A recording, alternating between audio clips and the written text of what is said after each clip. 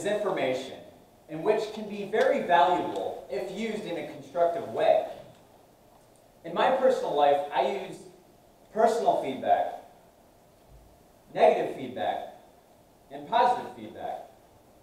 In fact, I use all that here.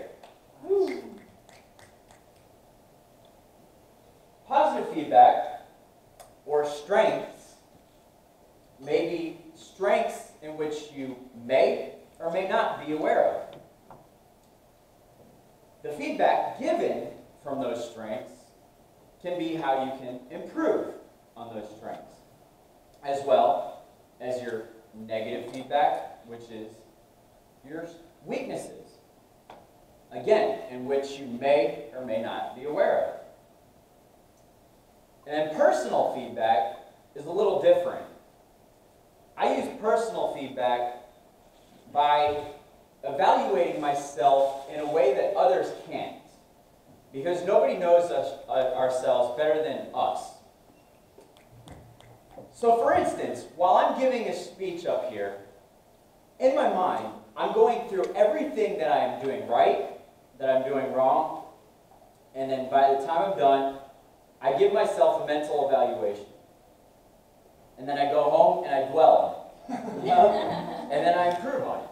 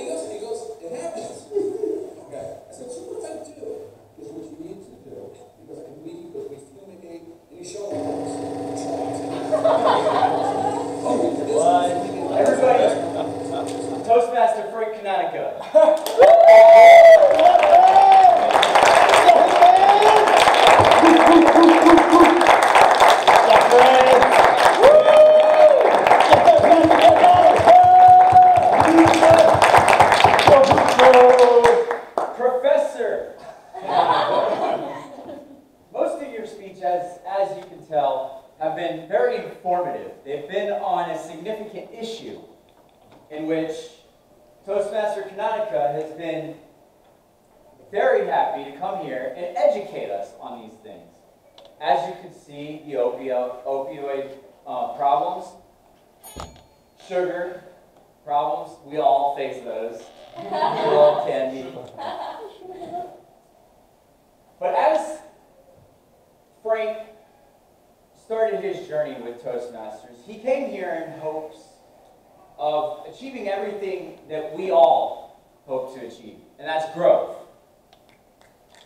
To improve on things that we either didn't know we had, skills we didn't know we had, and develop new skills, or simply just improve on those skills.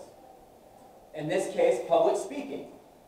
Other cases, leadership, evaluation, listening skills.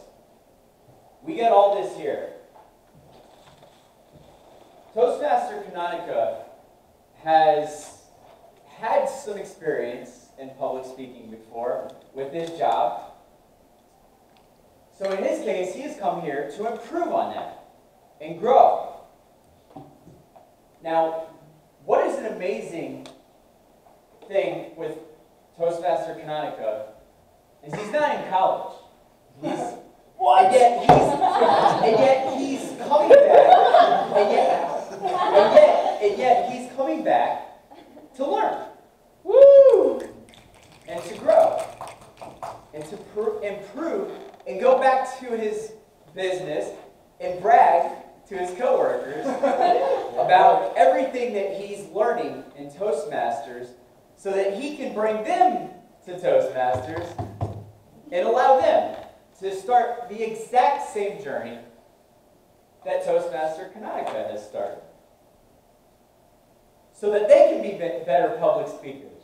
So that they can go and they can present without saying a single filler word so that they can keep the attention of their listeners. So Toastmaster Canonica, the only thing that I would tell you that I've noticed out of all of your speeches, you do a great job. However, I've noticed at times that maybe you don't seem a little bit confident in what you're presenting. Maybe that may be because, again, the redundant, not enough preparation. Again, you have a full-time job. So that's okay. That's okay. He travels. He travels professionally.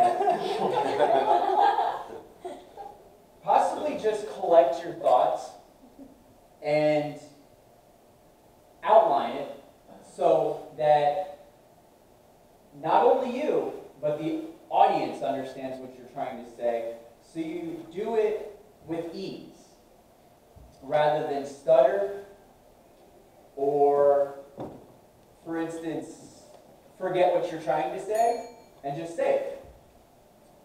Other than that, you're, you've improved greatly. Like us all, everybody that's been here for at least a year, Austin, myself, hopefully, and everybody is improving. And that's what's so great about this organization, is that it allows us to take feedback of all sorts and improve. So that we can be future leaders, future public speakers, future educators.